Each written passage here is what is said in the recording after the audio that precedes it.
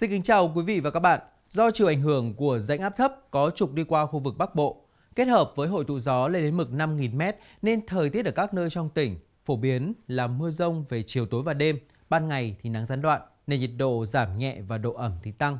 Lúc 13 giờ trưa nay, nhiệt độ tại các nơi trong tỉnh nó được phổ biến từ 30 đến 32 độ, còn độ ẩm thì duy trì quanh ngưỡng 73 đến 90%.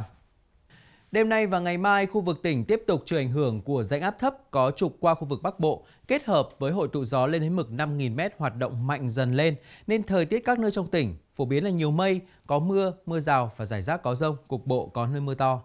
Bản tin sẽ được tiếp tục với thông tin thời tiết ba vùng trong tỉnh. Vùng núi phía Tây, trời nhiều mây, có mưa rào và rông rải rác, cục bộ có nơi mưa to, gió nhẹ, nhiệt độ từ 25 đến 31 độ. Vùng đồi Trung Du, trời nhiều mây, có mưa rào và rông rải rác, cục bộ có nơi mưa to, gió nhẹ, nhiệt độ từ 26 đến 31 độ. Còn vùng đồng bằng, trời nhiều mây, có mưa rào và rông rải rác, cục bộ có nơi mưa to, gió nhẹ, nhiệt độ từ 27 đến 32 độ. Vừa rồi là những thông tin thời tiết trong ngày vừa dự báo cho ngày mai. Cuối bản tin như thường lệ là thông tin thời tiết 3 ngày tới.